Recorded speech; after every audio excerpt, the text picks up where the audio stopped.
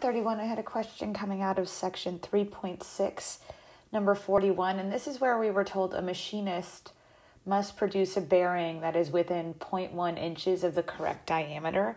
So let me just take a moment and write that down. So you must be within 0.1 inches of a 5 inch diameter. So if you're making these bearings, right, and the the bearings are supposed to be five inches um, in in diameter, you don't want the bearing to be too small or too big, right? Because then it won't fit into the part the way it's supposed to. So you got to think like if I want this diameter, I, really want it to be that's my perfect diameter, right? Five inches long. But there's a little bit of room for error. I could maybe go an extra 0.01 inches on this side and maybe an extra 0.01 inches on that side. And then anything larger, let me change colors here, larger than this upper bound or lower than this upper bound, it's just not going to work with these bearings.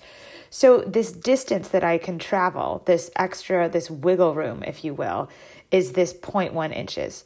So that's how much distance I can be off. And that's going to be what the right side of our inequality is equal to.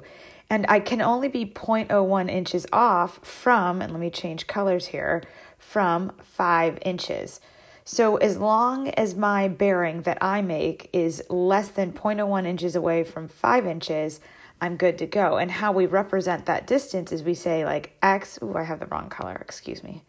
Let me turn this back to purple. All right, so we're saying x is the diameter of the bearing. So the diameter of my bearing, if I subtract 5 from it, right, it's got to be less than 0.01 inches away from 5. So this is where we're centered, right? And this is our distance from that center so again, in a perfect world, right? In a perfect world, let me, I'm going to go back and change colors one more time. In a perfect world, x would equal 5, right? I'd make 5 inch bearings each time.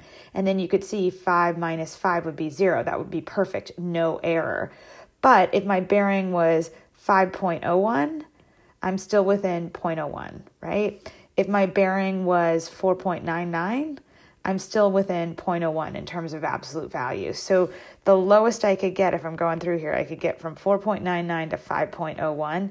I don't have a ton of wiggle room because we want our bearings to fit. So that's how you take that that word, um, that expression, and turn it into a uh, math inequality. All right. Thanks so much, everyone. Bye.